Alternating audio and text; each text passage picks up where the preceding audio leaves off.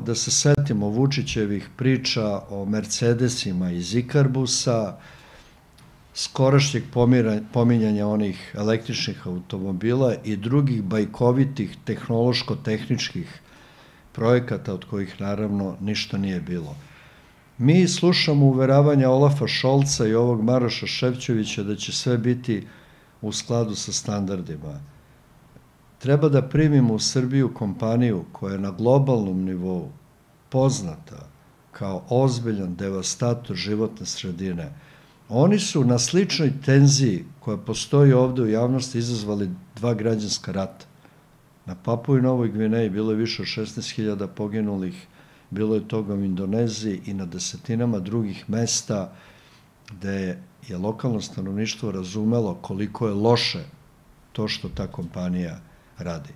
Dakle, postavlja se i pitanje da li mi uopšte možemo da verujemo Aleksandru Vučiću. Ja želim da podsjetim sve da je on na pitanju od vrhunskog i možda najvećeg nacionalnog značaja na pitanju Kosova i Metohije pokazao da, nebu, da njemu jednostavno ne treba verovati, jer on je izdao narod na Kosovu i Metohiji.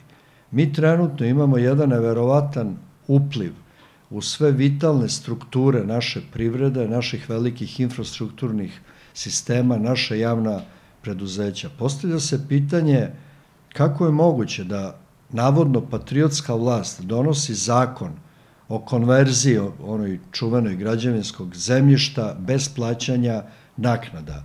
Kako je moguće da neko dovodi neke norveške eksperte u elektroprivredu Srbije? Šta će nama norveški eksperti?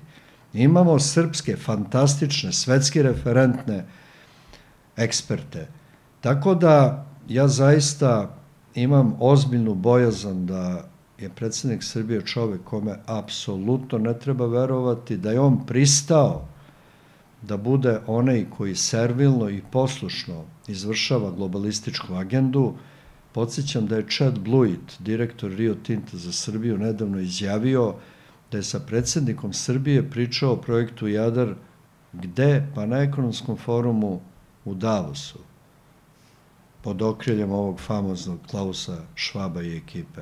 Šolc, Ševćević,